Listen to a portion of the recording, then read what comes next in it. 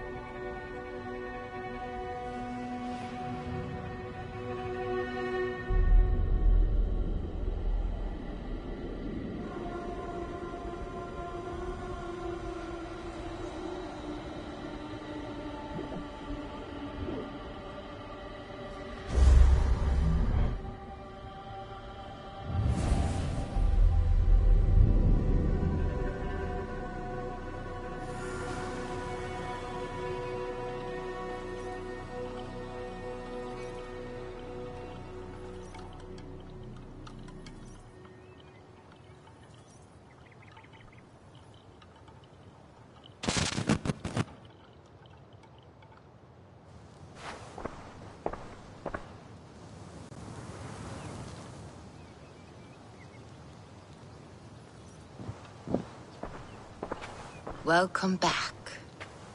Your face is bright, and your eyes seem clearer. Tell me of everything you have seen.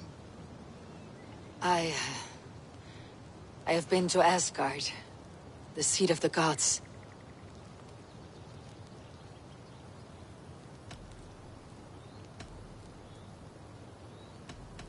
I saw through Odin's eyes, just as you said. In every vision, I inhabited his form, lived as he once lived. In his body, I was myself. But I was carried by his whims. His thoughts were as known to me as my own. We were two, but we existed as one. And what have you learned? More than learned, I felt. I felt everything. His fears and doubts, his loves and passions. Incredible. What else? I consorted with Loki, the trickster. We quarreled often, as siblings. But soon our fights grew dark. When he revealed he had sired a wolf cub, my rage was unbound. Because he had hid the truth from you? Yes, because he knew that wolves were not allowed in Asgard. He flaunted my command. Perhaps this was the purpose of your vision. To overcome an inner fear and find forgiveness in your heart. Maybe. But before my vision ended, I was seized by great purpose. I devised a plan, a voyage to Jotunheim. And then, I awoke. Interesting. Was there anything else? I heard a prophecy, warning of Ragnarok, the destruction of the world, the end of all time. And the Nornir, they warned me of the great wolf Fenrir, and how he hungered for my blood. But there was something else. Hope. I was undaunted by the coming cataclysm.